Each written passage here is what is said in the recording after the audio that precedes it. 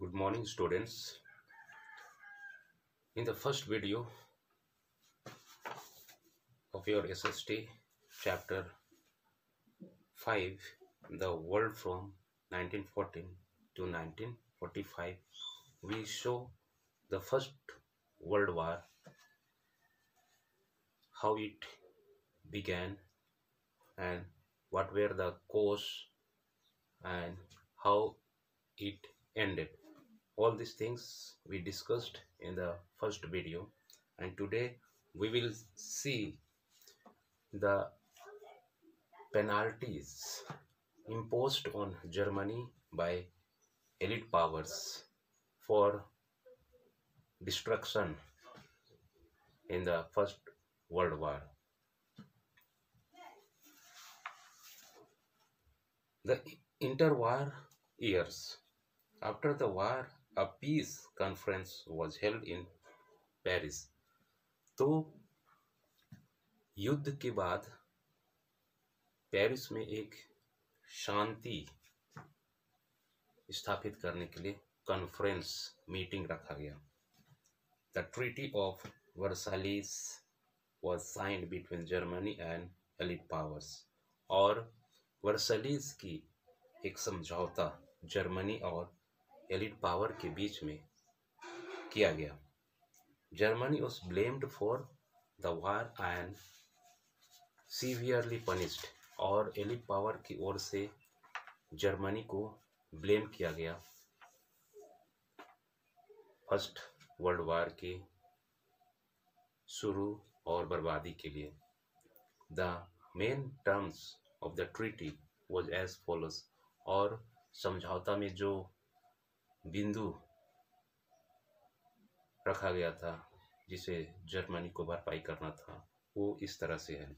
Germany would have to पे a heavy fine और पहला विश्व युद्ध में जितना भी नुकसान हुआ, उसकी सारी भरपाई के लिए जर्मनी को बहुत ज़्यादा फाइन देने को कहा गया। It could not increase its military forces और शर्त इसमें रखा गया कि जर्मनी अपना देश के लिए अपना मिलिट्री पावर को बढ़ा नहीं सकता था। Some of its territories were to be occupied by the allied powers और एलिट पावर के माध्यम से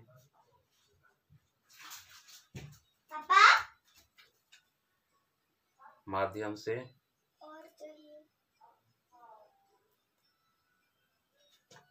जर्मनी के ऊपर सॉरी जर्मनी के कई आजू बाजू के टेरिटोरीज प्रदेश को एलिट पावर की ओर एलिट पावर ऑक्यूपाइड कर लिया गया। तो इस तरह से वर्सल, वर्सैलीस समझौता के कुछ टर्म्स थे जिन्हें जर्मनी को फॉलो करना था। The first world war shook the world, और पहला जो विश्व युद्ध था, ये पूरी दुनिया को हिला के रख दिया था। To prevent another such war the league of nation was found और इस तरह के विश्व युद्ध और इस तरह का युद्ध होने से बचाव के लिए मतलब आगे इस तरह का युद्ध ना हो, इसकी बचाव के लिए एक लीग ऑफ़ नेशन का गठन किया गया। Its object was to solve disputes between countries and maintain world peace और इसके जो मुख्य लक्ष्य थे, इन इस गठन के लीग ऑफ़ नेशन के जो मुख्य लक्ष्य थे, वो हैं कि दुनिया में या दुनिया के देशों की कंट्रियों के बीच में जो भी लड़ाई झगड़ा होते हैं, उनके बीच में शांति स्थापित करना, ये उनका मुख्य लक्ष्य था। The year after the world were difficult और विश्व युद्ध होने के अगले मतलब बाद वाले साल, दुनिया के लोगों को बहुत ज़्यादा कठिनाई का सामना करना पड़ा। Then came the great depression in 1949 1929 और उन्नीस सौ उनतीस को जर्मनी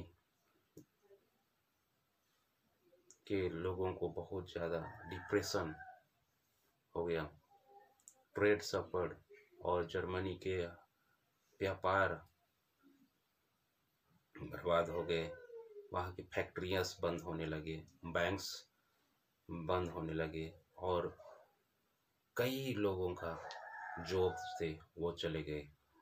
तो इस तरह से जर्मनी मतलब इसका खमियाजा भुगतने लगा। The effects were particularly severe in Europe and America और इसका जो प्रभाव था वो ज़्यादातर यूरोप और अमेरिका में दिखने को ज़्यादा मिला। पीस स्टिल इल्यूडेड यूरोप और यूरोप में अभी तक शांति स्थापित नहीं हुई थी। The period so the rise of two dictators और इसी दौरान दो डिक्टेटर्स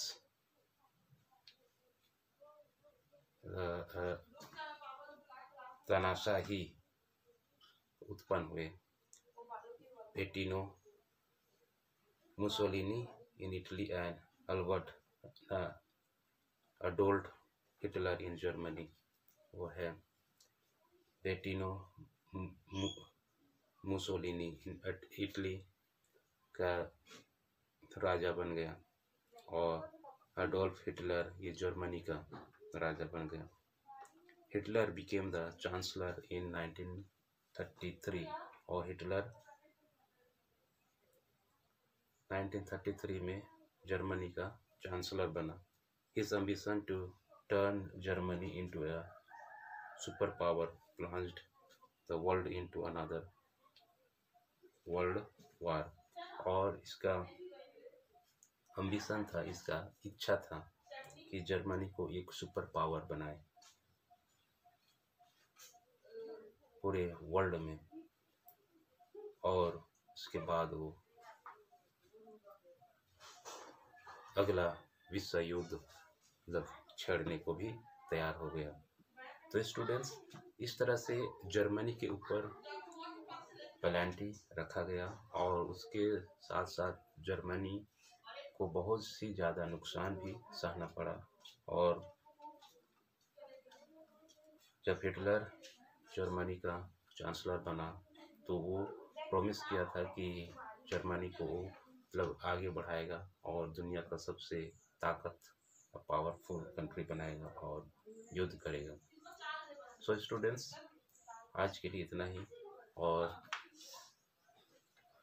सेकेंड वर्ल्ड वार हम अगले वीडियो में डिस्कस करेंगे। Thank you